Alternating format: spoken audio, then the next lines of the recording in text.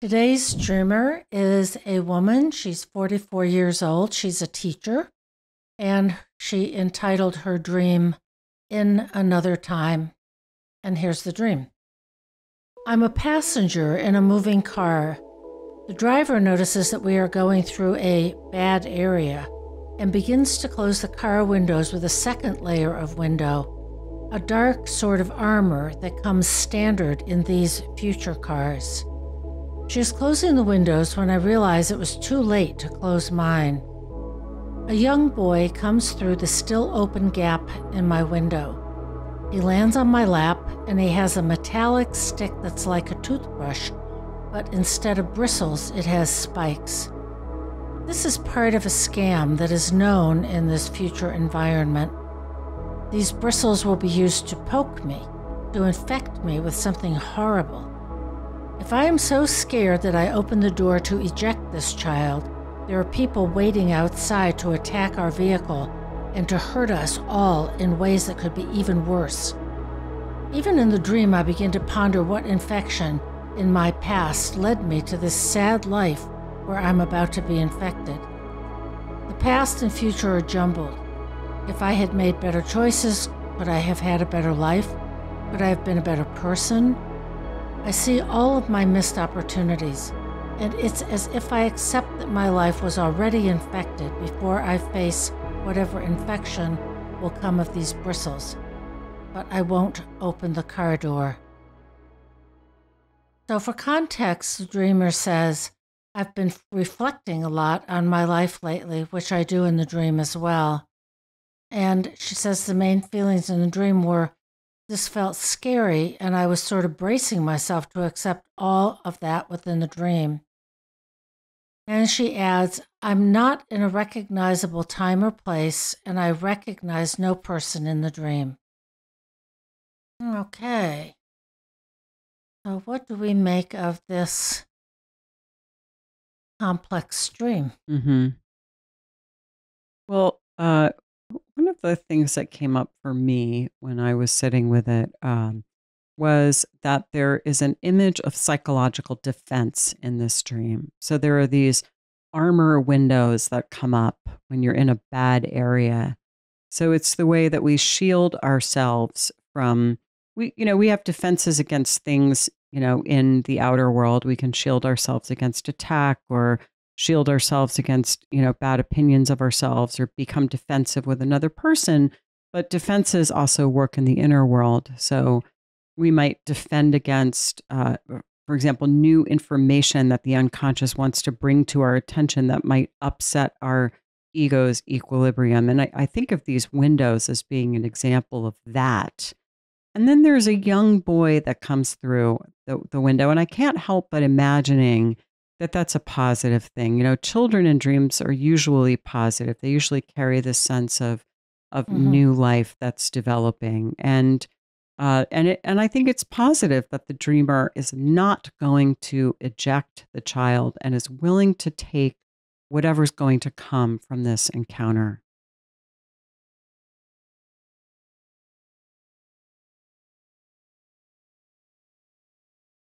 I find myself visualizing this toothbrush with spikes on it and, and wondering mm. if such an object even exists um, or something reminiscent of that, that the psyche has, I don't know, seen at some time or has some kind of value. Well, there's the idea of injection. And, you know, what can be injected can be medicine or sometimes it can be poison. And sometimes those two things are one and the same, actually. Uh, you know, so, sometimes uh, something that's actually toxic in high doses is the thing that heals in a small enough dose, for example. And and so an injection, you know, is also what a snake does when it bites us or a spider. So there's the notion that when we are injected with something, we are changed on an inner level, and uh, and we have to submit to it. And I think that this this dreamer understands that she has to admit to it, she has to submit to it, and in a sense, it it it might in, involve a kind of death or or suffering, but that that is the price of being changed. And, and she's not, fortunately, she's not um, too defended against what the psyche wants to bring to her attention. She can allow the new life in and allow it to change her. I have a um, something I'd love to share. Okay. So. I, I knew that I was thinking about something. Now, it, it's certainly not a toothbrush, but I was trying to figure out what medical devices might have spikes on them and how might that be relevant. And uh, because I have um, idiopathic neuropathy in my feet, Okay. so uh, I'm familiar with these sensory pinwheels. Wow. They're very, very sharp.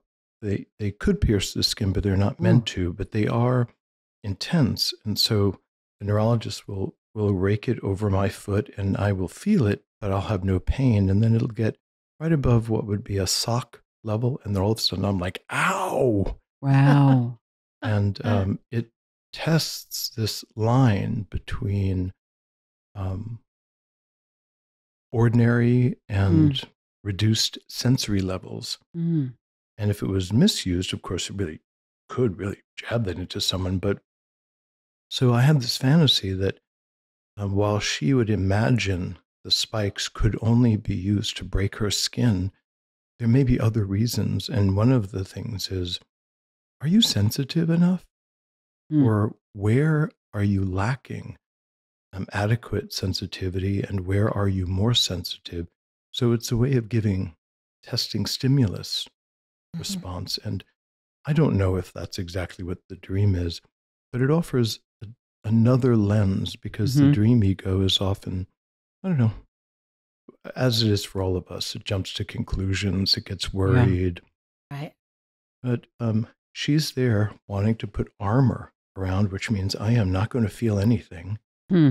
And then this little sprite, so to speak, comes Uh-huh. in with a little Mhm. neurologic pinwheel saying, ah, well, let's test how sensitive you are in Yeah. various Yeah. places in your body Yeah. Where your armor hasn't had a chance to lock you in. Uh, That's that's really interesting. Yeah.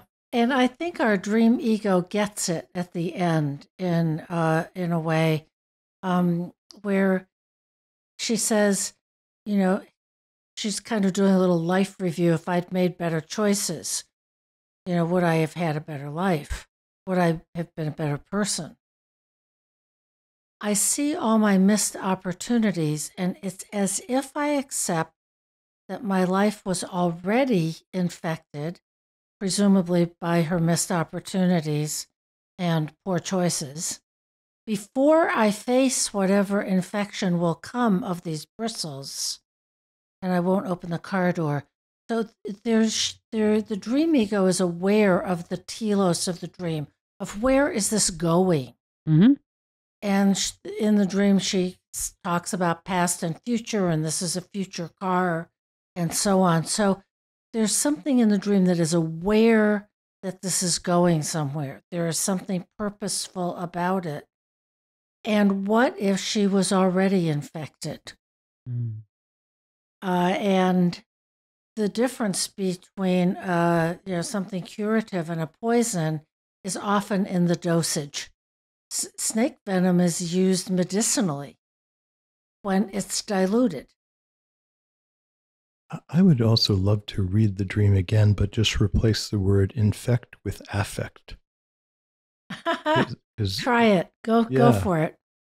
I'm a passenger in a moving car. The driver notices that we're going through a bad area and begins to close the car windows with a second layer of window, a dark sort of armor that comes standard in these future cars. She's closing the windows when I realize it's too late to close mine. A young boy comes in through the still open gap in my window. He lands on my lap and has a metallic stick It's like a toothbrush, but instead of bristles, it has these spikes. This is part of a scam that's known in the future environment, those bristles will be used to poke me to affect me in some horrible way. Huh. If I am so scared that I open the door to eject the child, there are people waiting outside to attack the vehicle and hurt us in ways that could be worse. Even in the dream, I begin to ponder what affect in my past has led me to this sad life where I'm about to be affected. the past and future are jumbled. If I'd made better choices, would I have had a better life, been a better person, my missed opportunities? It's as if I accept that my life was already affected before I face whether affectation will come of these bristles, but I won't open the car door. And Yeah. often we are afraid that we will be infected with it with a kind of feeling that we is going on in the unconscious mind. I don't want to feel certain things, so I put my armor up. And Mhm. then we begin to treat a feeling, an uncomfortable feeling, as if it's an, a poison or an infection. But actually, it could just be psychological pain of some kind that we really hope to wall off. hmm And we know it has something to do with being bad. We're going through the bad area and the barriers come up. So I wonder whether or not she's got much access to her badness Mhm. or knowledge of it at the very least. You know, there's something about um, being worried about being infected, and she's already been infected that says to me that, you know, it, it's sort of our fate to be infected in, sen- in a sense by life or to be affected, by life. Affected, right? Yeah. And, and, you know, there's this sense like, oh, it's already happened and it's happening again. And it's the, it's the inescapability of our fate. And what I, what still feels positive to me is that, you know, the streamer's not thrilled about accepting it, but she's accepting it. This is, Mhm. you know, it, it- what she knows is that if she rejects this fate, it's going to come out worse for her. She she really gets that, and uh, so she's Yeah. she's prepared to take what is you know what is her destiny in, in essence. You know, It's also a story about getting inoculations, Mhm. being vaccinated. So I have been vaccinated, which is an infection previously. hmm And so the boy comes in and he's going to vaccinate her again, but it's not safe to open the door and be exposed to all the other infections or affectations out there. I actually need to get my vaccination first. Mhm. And then once I build up some immunity, then I might be able to open the door and withstand the badness, whatever that is out there. And I think of dreams as often being like vaccinations. yeah, They give us Mhm. tiny little doses of that's something, and our psychological immune system kind of gets a little more muscular. That's I really like that, Joseph. That's really cool.